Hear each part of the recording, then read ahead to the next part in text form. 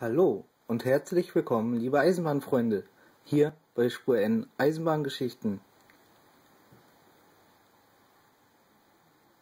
Heute mit einem ganz besonderen Heute mit einem ganz besonderen Let's Play. Wir haben nämlich Besuch, mein Bruder. Max ist hier, der wird auch mitspielen. dass wir auch ein bisschen mehr Ähm, so dass wir auch ein bisschen mehr Fahrbetrieb und ein bisschen umfangreicher trotzdem können und ich trotzdem nebenbei erzählen kann. wir zeigen euch jetzt auch mal, was wir ein bisschen Wir zeigen euch jetzt auch zusammengestellt mal, was haben wir für ein uns bisschen jetzt hier zusammengestellt haben für uns jetzt Für den hier Spielbetrieb. für den Spielbetrieb. Da kommt jetzt ein Baureihe 24 Da kommt jetzt ein Baureihe 24 mit dem Interregio-Wagen mit dem Interregio-Wagen, mit Bordcafé und Autotransporter. und Hier kommt die Baureihe Autotransporter. 41 Hier kommt die Baureihe mit den 41 Rhein-Ruhr-Expresswagen mit der den 20er Jahre. Rhein-Ruhr-Expresswagen der 20er Jahre. Zwei Güterwagen, also zwei Zwei Viehwagen Güterwagen, und noch den also zwei Kamerawagen Viehwagen hinten dran. und noch den Kamerawagen hinten dran. Gucken uns das nochmal aus Perspektive des Gucken uns das nochmal aus. Perspektive des Bahnhofes an.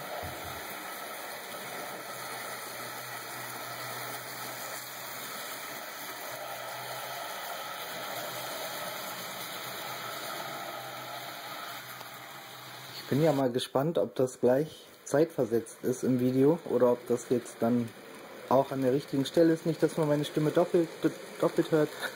Ähm, es ist nämlich so, dass ich die, den Spielbetrieb mit meinem Bruder einfach mal ein bisschen abgefilmt habe und in dem Video, was Teil, was ich euch gerade gezeigt habe, habe ich schon vorsprechen wollen. Ähm, ich belege das jetzt trotzdem nochmal neu mit dem Ton, weil wir das Ganze auch nicht beendet haben. Ähm, ich habe jetzt dieses Video hier aus Teilfrequenzen zusammengeschnitten. Ähm, deshalb wird es auch ein bisschen anderes Let's Play mal wieder sein. Hier äh, heute einfach mal den Spielbetrieb, den ich ein bisschen abgefilmt habe. Baureihe 41 mit dem Rhein-Ruhr-Express fährt ab. Hier die Baureihe 215 mit einem schönen Kohlezug schleift sich über das zweite Gleis. Und dann Gleis 1 der Regionalexpress. Also Interregio primär.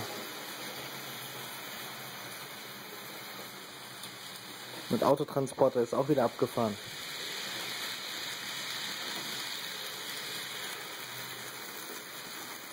Hier sieht man nochmal die Abfahrt.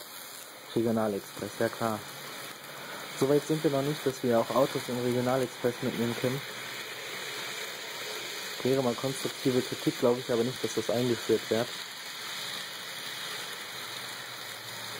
Das ist natürlich ein Interregio Cityliner mit Autotransporter, hier gezogen von der Baureihe 23.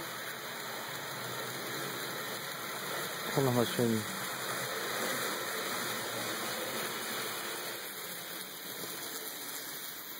wie alle drei Gleise befahren sind. Zwei Züge fahren in den Bahnhof ein und der Güterzug fährt wieder aus dem Bahnhof heraus. Hier nochmal die 41 mit Rhein-Ruhr-Express aus der Nähe. Mit den zwei Viehwagen. Hier ist der Kamerawagen auch schon wieder ab.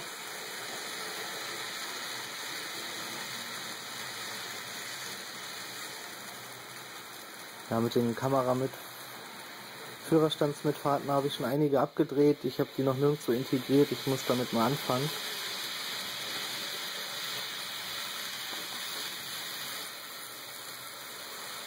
Wir sind ja auch, ähm, ich habe meinem Bruder ja die Staffel abgedreht. Ähm, ich habe da Hilfe bekommen, ungeplanterweise eine Woche lang. Wir haben die Hälfte der Staffel schon abfilmen können. Das bedeutet, Filmmaterial für ungefähr die Hälfte der Staffel ist fertig. Das heißt aber noch nicht, dass das logistisch verpackt ist und die Videos fertig sind. Da werde ich mich dann in Zukunft dran setzen. Mal gucken, wie ich es mache, ob ich Folge für Folge präsentiere oder die ganze Staffel mit einem Mal.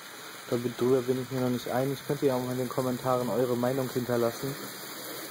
Hm, Ja, ich dachte, äh, bei den ganzen Arbeiten schraube ich auch mal ein paar Spielvideos zwischendurch. Ähm, dazwischen jetzt mal hier eins, was äh, kurz vor den Dreharbeiten der Staffel entstanden ist mit meinem Bruder zusammen. Ähm, vielleicht auch noch was anderes präsentieren. Ein Vibe-Let's Play mit den neuen Vibe-Logs. Das wird die Tage auch noch rauskommen. Aber ansonsten, wie gesagt, arbeite ich an der Staffel. Hier sehen wir noch einmal, noch mal die Baureihe 86, wie sie mit dem Nahverkehrszug einfährt. Zugmaterial wechselt jetzt auch ein bisschen Mal ein bisschen was fürs Auge.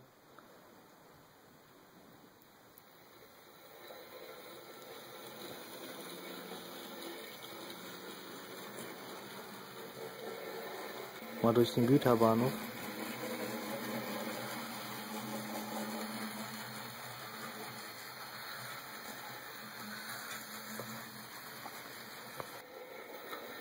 Schön, er gefällt mir richtig gut. Richtig schönes Gelände.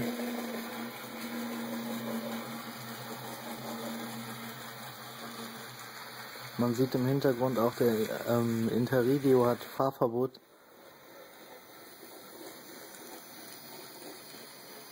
Baureihe 86 mit Nahverkehrszug fährt jetzt zum Bahnhof ein auf Gleis 1. Schraubt sich nochmal ein Güterzug vorbei. Hier schön diese schweren Kohlewaggons zu sehen. Peine Salzgitter Aufschrift. Ich werde mal gucken, dass ich den Zug noch auf 10 erweitere. Ähm, die, Waggons haben sich im Internet als sehr selten gezeigt. Ähm, jetzt hatte ich ja die in diesem Zug hier erworben. Jetzt sind noch mal ein paar mehr drin. Ich versuche, wie gesagt, in Zukunft den Zug noch auf 10 Waggons zu erweitern, sodass ich davon 10 habe. Hm, bei 6 bin ich jetzt. So, der kleine Nahverkehrszug auf Gleis 1 fährt auch wieder ab. Von der Baureihe 86 gezogen.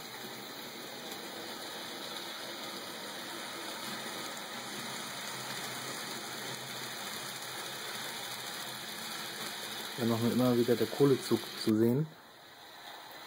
Und nochmal die Perspektive auf den Güterbahnhof.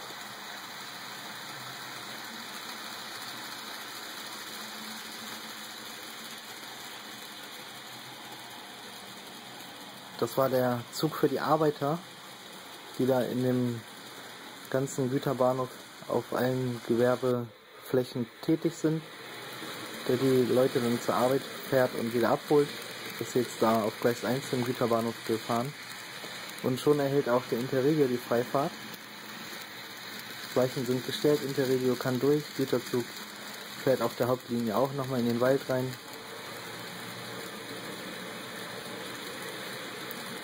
Ja, und weil es so schön war, nochmal eine zweite Runde vom Interregio.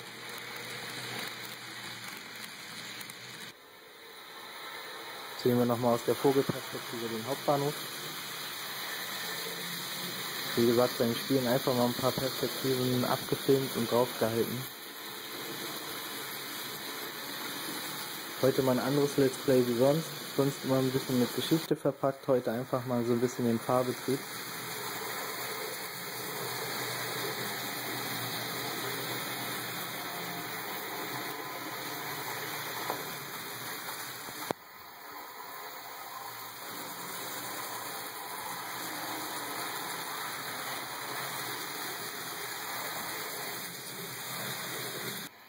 Ja nicht viel Platz, die kleine Anlage, aber trotzdem gibt sie ganz schön was her. Das norddeutsche Szenario, was hier nachgebaut ist, ist ganz schön vielfältig auf dieser kleinen Fläche. Ich bin aber noch nicht ganz fertig. Ähm, ich werde morgen noch weiterbauen. Ähm, also ich weiß nicht, wann das Video hier auf YouTube landet, aber heute ist der 14.1. Und morgen werde ich auf jeden Fall äh, noch ein bisschen weiterbauen. Und dann ist es auch bald mal wieder Zeit für ein neues Vorstellungsvideo, weil so ein bisschen was, was unpräsentiert ist, habe ich ja noch getan. Was dann auch mal abgefilmt werden muss. Hier mal den Vorstadtbahnhof, wie der Güterzug sich da durchschraubt auf der Hauptlinie und unten der Interregio durchfährt auf dem Durchgangsgleis.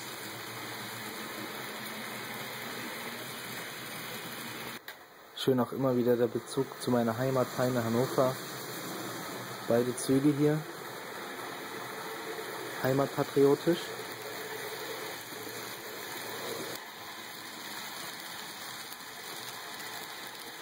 Aus Sicht des Stellwerkes gefilmt, der Hauptbahnhof.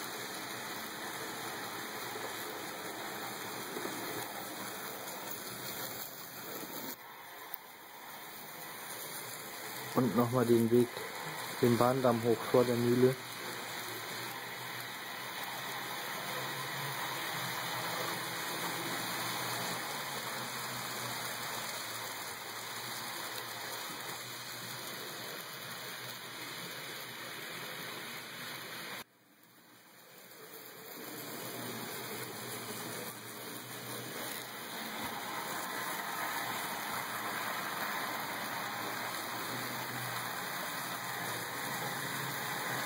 Könnt ihr einfach nochmal so ein bisschen auf euch wirken lassen. Die ganze Platte und die Züge, die wir hier zusammengestellt haben.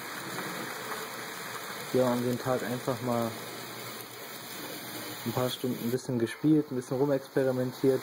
Das hier waren die erste Zuggarnituren, äh, die wir aufgestellt haben. Später haben wir nochmal andere gefahren. Und dann haben wir angefangen, die Staffel zu verfilmen. Wie gesagt, 5 von 10 Folgen sind soweit abgefilmt. Ähm, zwei sind angefangen und vorbereitet. Und der Rest muss halt eben noch gemacht werden. Das bedeutet aber halt noch nicht, dass die Videos fertig sind. Das ist jetzt nur das Roll äh, Filmmaterial den, von dem Rollmaterial, was da, was wir da fertiggestellt haben. Dadurch, dass ich halt Hilfe hatte, konnte ich Perspektiven abfilmen, die ich sonst nicht abfilmen kann. Das war ganz schön. Hier auch wunderschön, finde ich, der Wald. Es ist natürlich nur schemenhaft dargestellt und angerissen. Ich konnte keinen riesengroßen Wald dahin zimmern. Aber so der Übergang, der kleine Park da hinterm Industriegebiet, wo man spazieren gehen kann, da werde ich vielleicht auch noch einen Friedhof reinsetzen. Ähm, und dann halt der Übergang, nochmal die Nebenstrecke, die vor dem Wald entlang läuft und dann dichter Wald. Erst Mischwald, dann geht es in Nadelwald über. Hier sieht man nochmal den Vorstadtbahnhof. Wie die Baureihe 41 mit dem Rhein-Ruhr-Express dort hält.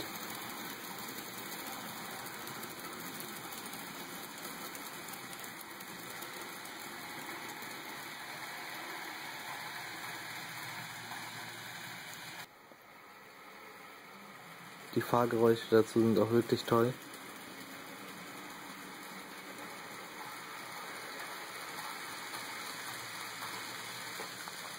Wenn man die Augen schließt, fühlt man sich, als würde man wirklich am Bahnhof stehen. Das ist echt ein unglaubliches Feeling. Aber ihr könnt die Augen auch wieder öffnen, denn hier sieht man nochmal schön den Wald, den ich gerade auch beschrieben habe, noch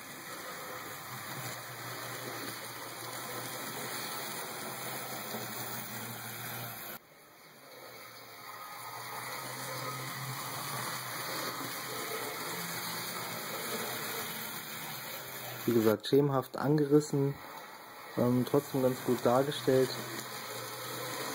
Hier nochmal die Hauptstrecke, zweigleisige Hauptstrecke, die aus dem Wald rausführt. Die Nebenstrecke, die damit reinmündet. Ja, vielen Dank auch mal wieder fürs Zuschauen. Das war es auch mal wieder von uns. Ähm, ich hoffe, ihr seid demnächst auch wieder mit dabei. Ähm, ja, bis denn und tschüss.